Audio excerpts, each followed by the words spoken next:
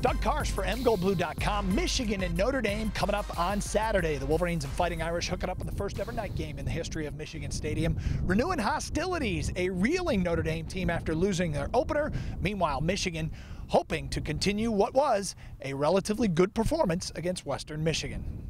They're a great defense. I know last week they only gave up about 246 yards of offense, I think it was. So, I mean, they're definitely a great defense, so we're going to have to play well to win. I watched that South Florida game last night, and um, their physical offense that kind of caught me by surprise. Uh, but they can also spread it out, so they pose a lot of a lot of challenges for us. Michael Floyd's going to get all the headlines. Does that motivate you as a wide receiver on the other side to think everybody's going to be talking about him? I mean, that's, that's Michael Floyd. We two different players. You know, um, he's a real good football player, wide receiver, and um, I've been watching him since I was a freshman. Pretty good. I mean, we both came in at the same time, but you know, it's a big guy. So I just, you know, uh, I hope you bring come in and you know do good because you know I'm pretty sure our defense is gonna make sure everything's right.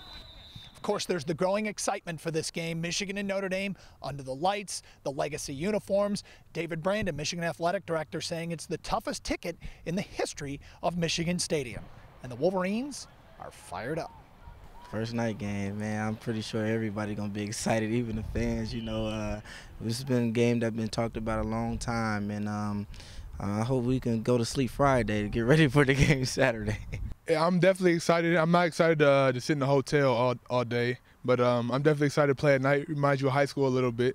The last night game we had, I think it was last year against Penn State, which was a great time. So night game's always a fun time for us.